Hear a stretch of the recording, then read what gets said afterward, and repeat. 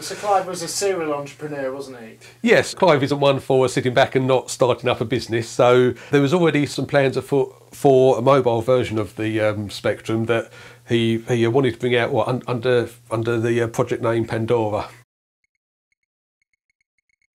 Once he was free of the shackles of Sinclair Research, he uh, started up a uh, new company, Cambridge Computers, and they come out with the Z88, which is a Z80 based machine, the same as all of the other Spectrum range. He was very wed to that Z80, wasn't he? It was, yes, and it's a cheap, reliable, good, decent processor. So uh, yes, they were tried and tested. Although there was quite a few changes which he made with this one. So for example, it does actually run BBC Basic as opposed to the old Sinclair Basic. Um, but it's also got built-in apps for um, well, there's the the word processing, spreadsheet, diary, calendar is all enclosed in one app. So that's actually a really really good good bit of software there. As a, a mobile type device in its own right, um, it, it was groundbreaking. You could actually do do computing on the move.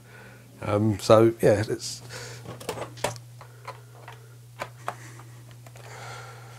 Oh wow, okay, so diary Pipe Dream? What's Pipe Dream? Pipe Dream is it's a word processor and it's a spreadsheet and it's a calendar and it's everything all in one and it is actually a really good flexible way of doing doing business documents as opposed to a separate Word document, a separate Excel. You can actually embed everything all in all in the one package there. Did it get taken about and used? It's the ideal machine for commuting into London by train. You can sit there on the train. You can do do your work on there. Um, you can plug it into a modem when you get home and upload your data back to the office. Um, it, it is quite flexible for things like that. So when was this actually out? Uh, this came out in 1987.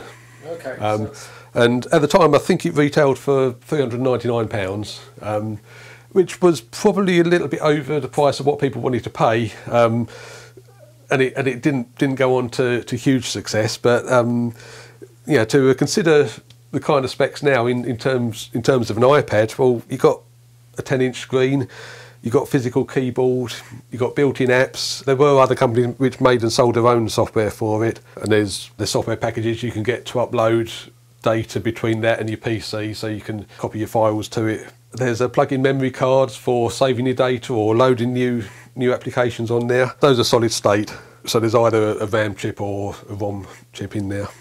And you just plug that in a bit like can game packs, I suppose. Yes, there's there's there's three sockets under there, and you can get it to communicate easily with other things. And what the battery lasts about what a day or something?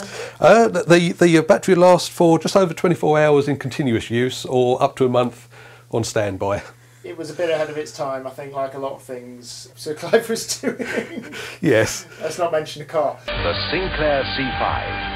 It's a new power in personal transport. yes, I've got one of those in the garage as well, by the way.